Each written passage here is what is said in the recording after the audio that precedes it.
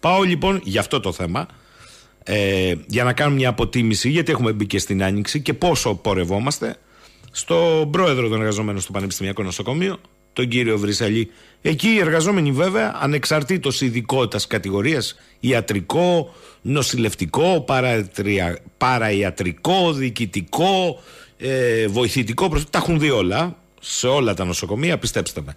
Καλημέρα κύριε Βρυσαλή. Ε, καλημέρα κύριε Σαχίνη, σε εσάς και στους ακροατές σας.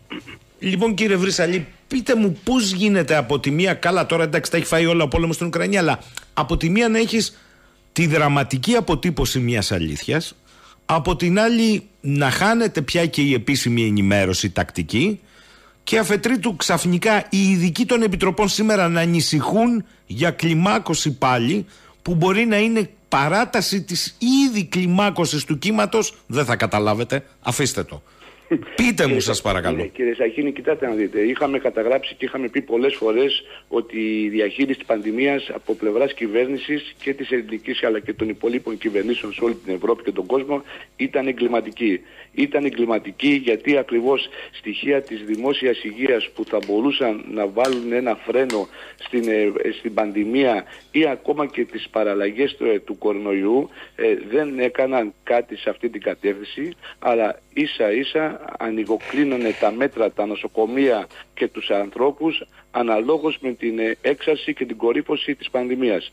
Ε, αυτή την περίοδο κύριε Σαχίνη ζούμε εμείς στο χώρο της υγείας μια μεγάλη ε, έξαρση της πανδημίας πλέον από τους ίδιους τους εργαζόμενους ε, που νοσούν ακριβώς γιατί και τα μέτρα και στην κοινότητα αλλά και τα γενικότερα μέτρα στα δημόσια νοσοκομεία συνολικά είναι πάρα πολύ υποβαθμισμένα ακριβώς στη λογική του χαμηλότερου και του λιγότερου κόστους από τη μία και της ατομικής ευθύνης από την άλλη. Ε, ε, βρισκόμαστε στο ίδιο έργο θεατές ε, με κρεβάτια εντατικής όχι πλέον COVID αλλά μη COVID γεμάτα. Μόνο προχτές ε, γινόταν εναγώνια προσπάθεια από τους ε, γιατρούς και όλο το προσωπικό να βρεθεί κρεβάτια εντατικής θεραπείας στο Πανεπιστημιακό Νοσοκομείο γιατί δεν υπήρχαν κρεβάτια. Ε, υπάρχει αύξηση αν θέλετε εισαγωγών στις, στα μη COVID περιστατικά και την ίδια ώρα βεβαίως ναι. ε, έχουμε την εξάπλωση της πανδημίας των παραλλαγών που βεβαίως μπορεί να μην είναι τόσο πολύ αν θέλετε, τα συμπτώματά της ε, έντονα, αλλά ε, είναι πάρα πολύ μεταδοτικά. Ε, καμιά θωράκιση στο σύστημα υγείας ούτε σε ανθρώπινο δυναμικό έχει γίνει, αλλά ούτε βέβαια και σε οικονομικούς πόρους. Μόλις προχτές συζητιόταν στο Διοικητικό Συμβούλιο του Νοσοκομείου ο προπολογισμός του Παγνή, που είναι φέτος μειωμένος από τις κρατικές επιχορηγήσεις και από την ΕΟΠΗΚ κατά 10 εκατομμύρια περίπου ε, το, ε, στο χρόνο. Αυτό θα έχει δραματικές ε, συνέπειες στη λειτουργία του νοσοκομείου με έναν προσωπικό που δεν έχει αυξηθεί κύριε Σαχίνη. Ε, τα στοιχεία αν θέλετε που τα έχω και θα μπορούσαμε να τα πούμε σε μια άλλη εκπομπή από το 2020 μέχρι τώρα που μιλάμε έχουμε μείωση του μόνιμου προσωπικού αλλά αν προσθέσεις και το επικουρικό που επικαλείται η κυβέρνηση είμαστε πάλι μείον από τις κενές θέσεις που υπάρχουν. Με τέτοιο σύστημα υγείας, με μια πρωτοβάθμια υγείας, ε, πρωτοβάθμια φροντίδα υγείας που είναι αν θέλετε υποστελεχωμένοι, μέτρα προστασίας και της δημόσιας υγείας δεν μπορούν να προκύψουν. Γι' αυτό έχουμε την έξαρση κάθε φορά ε, και του κορονοϊού και βεβαίως όταν είναι ε, να μπουν μπροστά τα επιχειρηματικά συμφέροντα, ιδιαίτερα τώρα το καλοκαίρι στη χώρα μας, τότε ο κορονοϊός διαμαγείας εξαφανίζεται, εξαφανίζεται η ενημέρωση και την ίδια ώρα η κυβέρνηση ετοιμάζει να υλοποιήσει ένα εγκληματικό σχέδιο στο χώρο της υγείας με το νέο Εθνικό Σύστημα Υγείας. Η άφηξη της κυρίας ε, Γκάγκα στο νησί μας ε, στην Ανατολική Κρήτη έχει να κάνει προφανώς και με τα σχέδια της κυβέρνησης σε σχέση με τη συρρήκνωση των υγειονομικών μονάδων και στο Λασίθι αφενός καταρχήν, αλλά και στη συρρήκνωση και στην υποστελέχωση άλλων νοσοκομείων και εντός του νομού Ηρακλείου ε, το επόμενο διάστημα. Έχει να κάνει με κλείσιμο κλινικών. Μόνο στο Πανεπιστημιακό Νοσοκομείο Ηρακλείου, ε, ε, κύριε Σαχίνη, έχουμε ακόμα συγχωνευμένες κλινικές μετά από δύο χρόνια. Με εγκληματικές ευθύνες πλέον, καρδιοχειρουργικά περιστατικά να νοσηλεύονται μαζί με αγκιοχειρουργικά περιστατικά και θωρακοχειρουργικά περιστατικά, να έχουμε τρεις κλινικές σε μία, είναι παγκόσμια πρωτοτυπία να έχεις παιδιατρική κλινική με παιδοχειρουργική και εντός της κλινικής να έχεις, ε, ε, να έχεις κρεβάτια COVID. Αυτά κύριε Σαχίνη νομίζω ότι πλέον ε, εδώ θα έπρεπε, το έχω ξαναπεί, μπορεί αν θέλετε να γίνουμε και γραφικός, εδώ να έπρεπε οι επιστημονικοί φορείς να πάρουν θέση. Δεν μπορεί δηλαδή να γίνονται εγκλήματα επιστημονικά και το, να βγαίνει μόνο το σωματείο μας και οι εργαζόμενοι και οι άνθρωποι που βέβαια που έρχονται στα νοσοκομεία να τα καταγγέλνουν και να μην υδρώνει κανενός το αυτή. Μάλιστα. Δεν μου λέτε κύριε Βρυσάλη, πρακτικά, επειδή το είπατε ωραία σχηματικά, έρχονται τα χελιδόνια, φεύγει ο κορονοϊός. Θα φύγουν τα χελιδόνια, θα ξανάρθει ο κορονοϊός. Πείτε μου πρακτικά αυτή τη στιγμή είμαστε σε μια διαδικασία σφύριξα και έληξε, δηλαδή από νοσοκομεία μιας ασθένειας αλλάζει αυτό; Και κύριε Σακίνη, δεν αλλάζει. Δεν, δεν αλλάζει. Γιατί αυτή τη στιγμή τα χειρουργεία στο Πανεπιστημιακό Νοσοκομείο από 9 που έπρεπε να λειτουργούν, ναι. λειτουργούν 5. Λόγω και, και, και, ασθενειών εργαζομένων Μάλιστα. και βεβαίως έλλειψη ιατρικού προσωπικού. Και βάλε και, και τους 4.000 περίπου 700 που απέλησαν, ε! Με, με τι αναστολέ. Σκοπεύουν να, να βγάλουν τι αναστολή συν άλλους 5.000 ανθρώπους που ετοιμάζουν να τους δώσουν. Το ότι κολλάνε όλοι πια, ας πούμε, δεν τρέχει τίποτα. Εντάξει, δεν το συζητάμε. Ε, Αυτοί να μένουν ε, απ' έξω. Ακούστε εδώ. Κύριε, κύριε Σακίνη, η λογική τους είναι εντάξει, παιδιά, καθίστε στο σπίτι και κάτω από την πίεση που το είχαμε ξαναπεί στην εκπομπή σας, καθόμαστε ευτυχώς 7 μέρες, 10 μέρες μέχρι τουλάχιστον ναι. να θεραπευτούμε. Κατά τη δική σας πίεση όμως. Όχι ότι ήταν έτσι το πρωτόκολλο. Ναι. Βεβαίως και κάτω και από, την, και από την ε, σύμφωνη γνώμη και προς τιμή τους επιστημονικού νοσοκομείου. Σωστό. Ε, επιστημονικό, ε, να το, πρέπει να το πούμε και αυτό. Σε άλλα νοσοκομεία δεν γίνεται αυτό το πράγμα. Με παίρναν τηλέφωνο άλλοι, άλλοι εργαζόμενοι από νοσοκομεία της Μυτιλίνη, από άλλα νοσοκομεία και λέγανε πώς το κάναμε.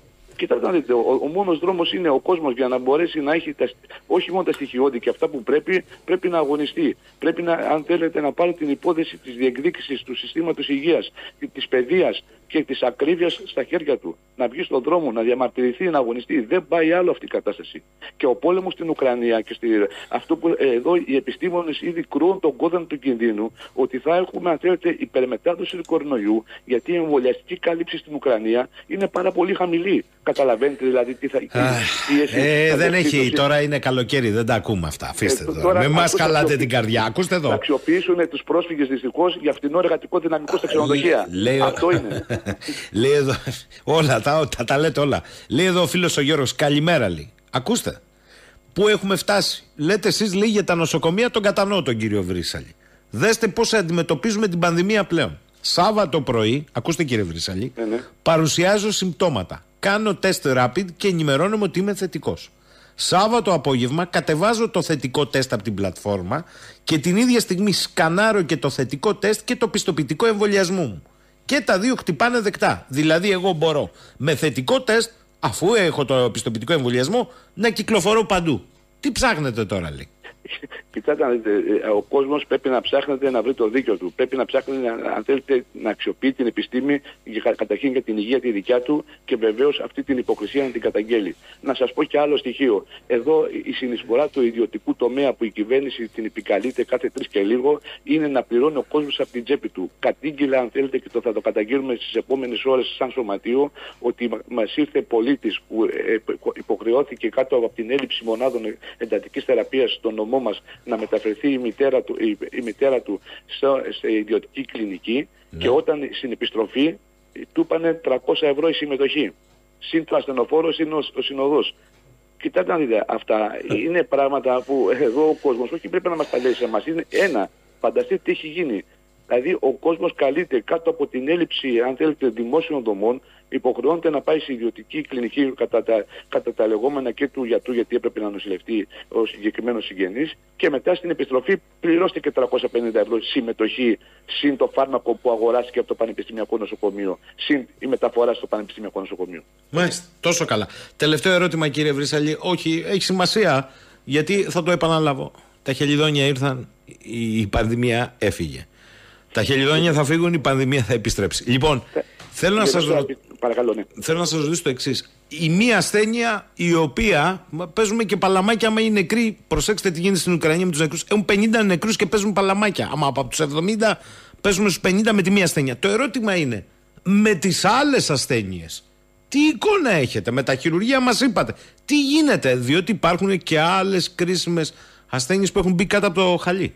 Έχετε μια εικόνα; Κοιτάξτε να δείτε, τα περιστατικά που πλέον προσέχονται στα τμήμα επιγόντων περιστατικών είναι πιο βαριά. ε, είναι περιστατικά που λόγω αν θέλετε της μη δυνατότητας προσέλευσης στα νοσοκομεία όχι μόνο λόγω του φόβου, λόγω του ότι είχαν αν θέλετε μειωθεί ο αριθμός των εξωτερικών ιατρίων αν όχι τόσο πολύ στο πανεπιστημιακό σε άλλα νοσοκομεία έρχονται επιβαρημένα περιστατικά, περιστατικά που αν θέλετε χρήζουν μεγαλύτερης και ποσοτικά και ποιοτικής νοσηλείας.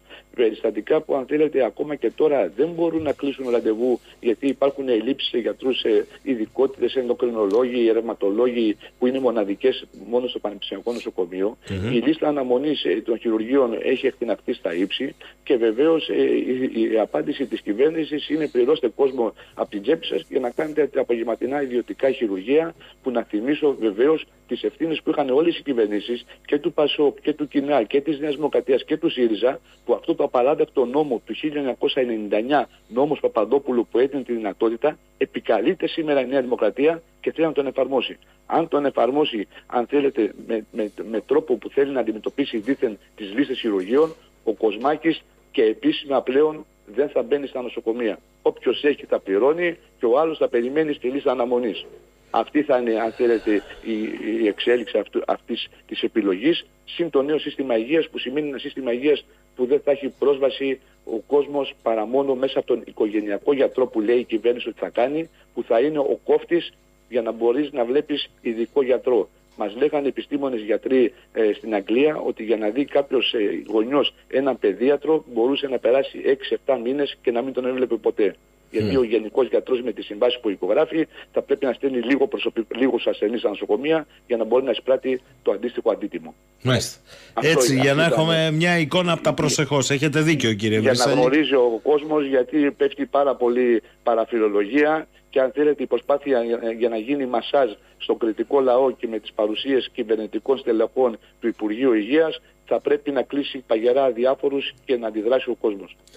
Δημήτρης Βρύσαλη, πρόεδρος των εργαζομένων στο Πανεπιστημιακό, τον ευχαριστώ έτσι για μια αποτίμηση. Μπήκαμε στην άγγιξη, βλέπετε. Αλλά πάμε από το κακό στο χειρότερο. Καλημέρα, κύριε Βρύσαλη. Καλημέρα. καλημέρα. καλημέρα κύριε